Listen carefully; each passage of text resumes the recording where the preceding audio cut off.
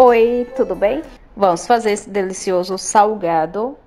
Fica incrível para tomar com café. Vamos precisar de duas xícaras de farinha de trigo, uma batata doce cozida, ralamos ou machuca com garfo, dá super certo também, e uma colher de chá de açúcar e uma colher de café de sal.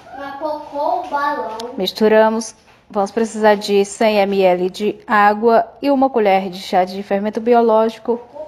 Dessa forma, nosso fermento hidrata. Colocamos juntos. Simplesmente vamos dar o ponto. Vamos acrescentar uma colher de sopa rasa de manteiga ou margarina.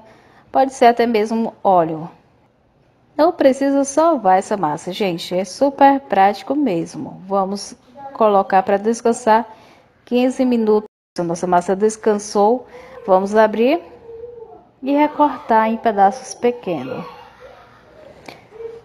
Para o recheio, vou usar o queijo mussarela ou até mesmo sem. Abrimos um pouco.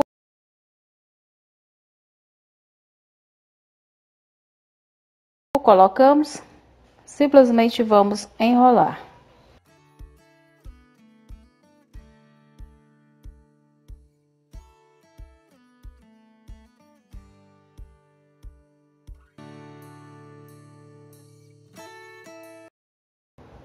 Feito isso, dobramos em duas voltas e torcemos simplesmente isso, tá? Vamos esperar descansar mais de 5 minutinhos para a gente poder fritar. Para vocês que não usam fritura, pode estar tá assando no forno a 200 graus uh, de 15 a 20 minutos.